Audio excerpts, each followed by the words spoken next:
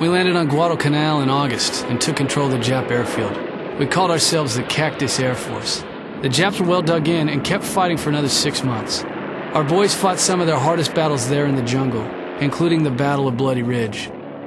Off the coast of Guadalcanal, we managed to cut off their supply lines and stop them from sending more reinforcements. It wasn't until December that their emperor finally gave permission for their troops to withdraw. Clearing the threat in the Pacific was turning out to be a long and tough campaign. But at Guadalcanal, we stuck our foot in the door and it wasn't going anywhere. In April of 43, our codebreakers located Admiral Yamamoto, the guy who planned the Pearl Harbor attacks. He was going to be flying in a bomber near Bougainville.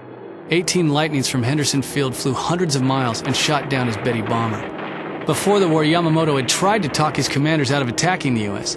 They didn't listen, and even though he knew it was a bad idea, he planned the Pearl Harbor attack for them.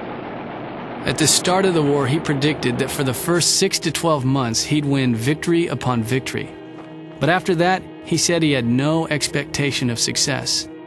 He was a smart man, and they never did find his body.